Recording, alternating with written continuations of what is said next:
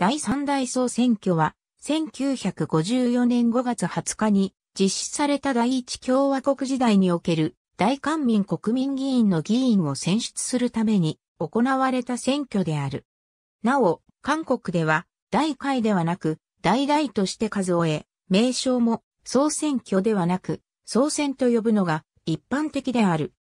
1952年7月の抜粋会見を通じて大統領に当選した李承晩は憲法の参戦禁止規定を撤廃して終身大統領になることを目論んでいた。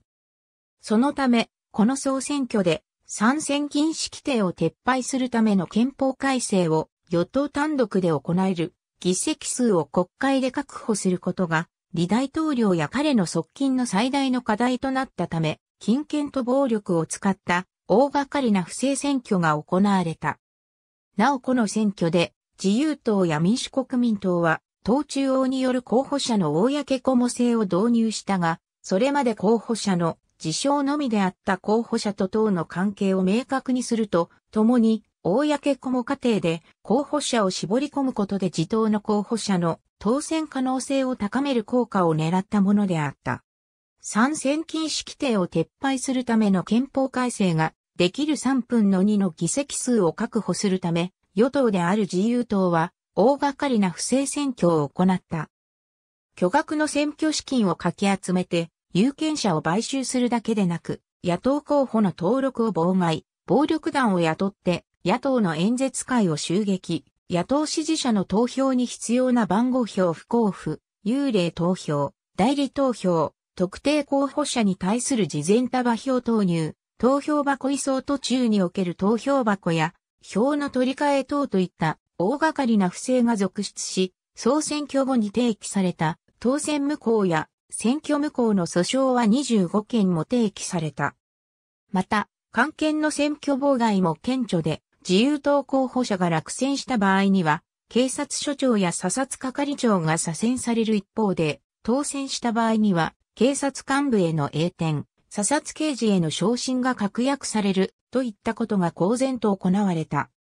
投票日、1952年5月20日前回、選挙では無所属当選者が多数派を占めたが、今回は与党、自由党が過半数を上回り、第一党となり、無所属当選者はほぼ半減する結果となった。一方、韓国民主党の流れを組む民主国民党は15議席に止まり、敗北した。自由党は過半数を上回る議席は獲得したものの、議席占有率は56.2%に止まり、目標としていた3分の2には届かなかった。そのため自由党は猛烈な多数派工作を展開、無所属当選者34名を入党させ、6月9日の国会会員時には133議席を確保した。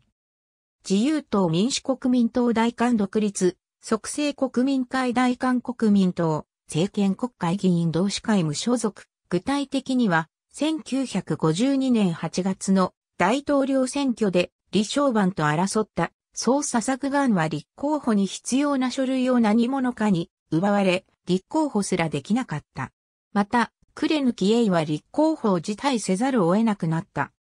すでに死亡した人や実際には存在しない人を、あたかも存在するかのように投票用紙を発行して、これを利用して自由党関係者が不正に投票を行った。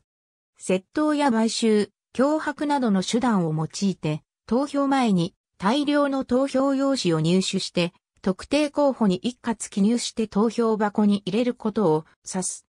AB 院系鉄著、分断後の韓国政治マイナス1945から1986、僕託者、143ページの記述より、